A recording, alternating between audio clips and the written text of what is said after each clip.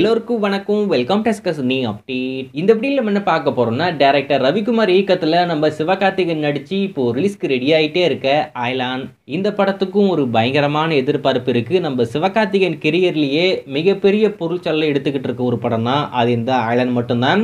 அது மட்டும் இல்லாமல் அவருடைய கெரியரில் ஃபஸ்ட் டைம் அஞ்சு லாங்குவேஜ் டப் பண்ணி டேரெக்டாக தியேட்டரில் வரக்கூடிய ஒரு பேனடியா மூவி அதுவும் இந்த ஐலண்ட் மட்டும்தான். அது மட்டும் இல்லாமல் India's first alien base movie அதாவது ஏற்கனவே கிருஷ்ணலாம் வந்திருக்கேன் இருந்தாலும் தமிழில் இது வரைக்கும் எந்த ஒரு படமும் ஏலியனை பேஸ் பண்ணி வந்ததே இல்லை.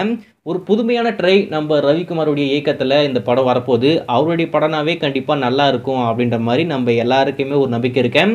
ஸோ இந்த படமும் அதே மாதிரி அந்த நம்பிக்கையை காப்பாற்றுற மாதிரி கண்டிப்பாக இந்த படம் நல்லா தான் வரும். ஸோ இந்த படத்தை எப்போ பிளான் பண்ணுறாங்க அப்படின்னு சொல்லிட்டு எனக்கும் தெரியாது அவங்களுக்கும் தெரியாது. ஏன்னா அவங்க டேட் எதுவுமே ஃபிக்ஸ் பண்ணலை.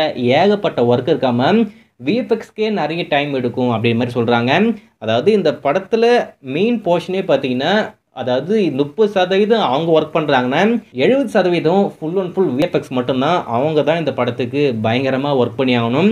ஒரு ஒரு ஷாட்டையும் உக்காந்துக்கிட்டு எடிட் பண்ணி அதை விஎஃப்எக்ஸ் பண்ணி நம்மளுக்கு பார்க்கறதுக்கு பிரம்மாண்டமான ஒரு ஹாலிவுட் படம் மாதிரி இந்த படம் வரும் அப்படின்னு மாதிரிலாம் பேசிக்கிட்டு இருக்காங்க.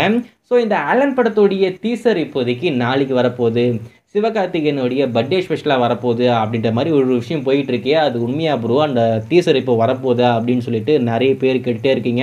இந்த விஷயம் ஒரு மாதத்துக்கு முன்னாடியே வந்திருக்கு நம்மளும் சொல்லியிருக்கோம்.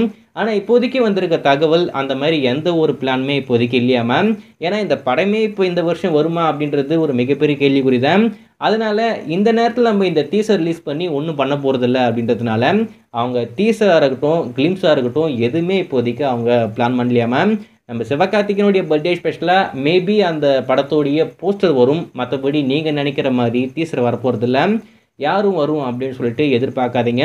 மேபி இப்போதைக்கு இருக்கிற நிலைமை இதுதான் இருக்குது இதுக்கடுத்து அவங்க பிளான் பண்ணாங்கன்னா கண்டிப்பாக அப்டேட் பண்ணுறேன் ஆனால் இப்போதைக்கு உங்களுக்கு வந்துக்கிட்டு இருக்க தகவல் எல்லாமே ஃபேக்கு தான். யாரும் இந்த ஐலண்ட் படத்துடைய டீசர் வரும் அப்படின்னு சொல்லிட்டு எதிர்பார்க்காதீங்க. உங்களுக்கு இந்த வீடியோ பிடிச்சிருந்தா லைக் ஷேர் சப்ஸ்கிரைப் அதுக்கப்புறம் அந்த பெல் ஐக்கன் எல்லாமே கிளிக் பண்ணி வச்சுக்கோங்க. அப்போ தான் நாங்கள் எல்லா வீடியோவுமே மிஸ் பண்ணாமல் பார்க்கலாம். நம்ம நெக்ஸ்ட் பார்ப்போம்.